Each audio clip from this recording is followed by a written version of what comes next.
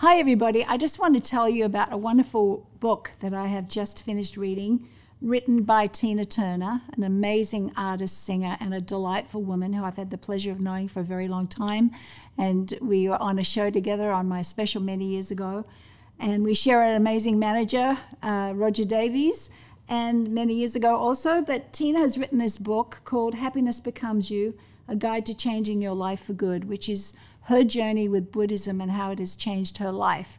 And I have very dear friends who are Buddhists, and I recorded a song with Nam-myoho Renge Kyo within it. And this book really spells out the her journey in her life and the wonderful way that Buddhism and chanting has transformed her life. And it has some wonderful life lessons in it, and I would recommend it to anybody. It's a really beautiful book. Well done, Tina. It's fabulous. Much love to you.